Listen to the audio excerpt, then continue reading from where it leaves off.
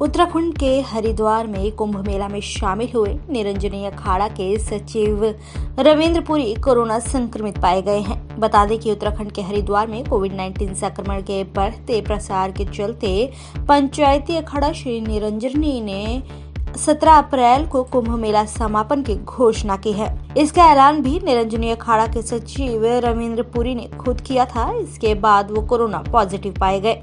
का जो निर्णय हमारा अखाड़े ने लिया है, इसलिए लिया कि हरिद्वार में कोरोना चरम सीमा पे है और हम जो 27 तारीख का स्नान है, हम उसमें करीबन 20-25 महात्मा स्नान करेंगे। इससे ज़्यादा स्नान नहीं करेंगे। तो कह सकते हैं कि आज से मैंने आपने जितने भी संत हमारे अखाड़े के संत है, महंत है, भक्त है, मैंने सबसे हाथ जोड़ के निवेदन किया हुआ है कि आप तुरंत जो है हरिद्वार को खाली कीजिए, अपने अपने स्थानों की आप निकल जाइए। आपकी भी सुरक्षा इसी में, हमारी भी सुरक्षा इसी में है। और अब हरिद्वार में ज़्यादा भीड़ लगाना उचित नहीं है, इसीलिए हमने ये क्योंकि हमारे अखाड़े भी महात्मा काफ़ी लोग बीमार है, हमारे स्टाफ लोग बहुत बीमार इसलिए हमने ये निर्णय लिया। रविंद्र पुरी ने वीरवार को कहा था कि कोरोना वायरस का प्रसार तेज हो गया है और साधु संत एवं श्रद्धालु इसकी चपेट में आने लगे हैं। उन्होंने कहा कि निरंजनी अखाड़े के साधु संतों की छावनियाँ सतारह अप्रैल को खाली कर दी जाएँगी।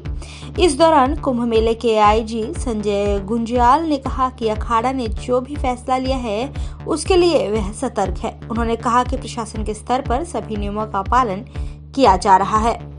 आदरणीय निरंजनी अखाड़ा के द्वारा जो भी निर्णय अपने अखाड़े के संबंध में और चौथे साई स्नान के स्वरूप के संबंध में अगर अखाड़े की अपनी कोई राय है तो वो अखाड़े से संबंधित पूरी तरह से ले सकते हैं। जहाँ तक शासन के स्तर पे है, शासन के स्तर पे ऑलरेडी फ़र्स्ट अप्रैल से तीस अप्रैल के बीच का नोटिफिकेशन है। और शासन के स्तर पे वो नोटिफिकेशन आज भी है। भविष्य में जिस परिस्थितियों में अगर कोई चेंजेस आता है तो वो चेंजेस अभी फ़िलहाल शासन स्तर पे अभी कोई निर्देश नहीं आया है।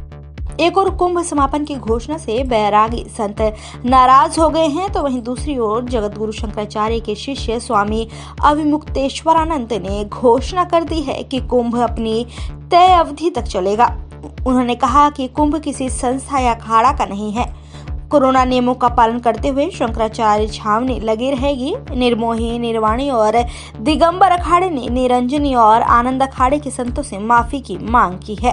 कहा कि मेला समापन का अधिकार केवल मुख्यमंत्री और मेला प्रशासन को है। घोषणा करने वाले संत माफ़ी नहीं मांगते तो वह अखाड़ा परिषद के साथ नहीं रह सकते। कहा कि उनका मेला जारी रहेगा और 27 अप्रैल को सभी बैरागी संत शाही स्नान करेंगे। Thank you.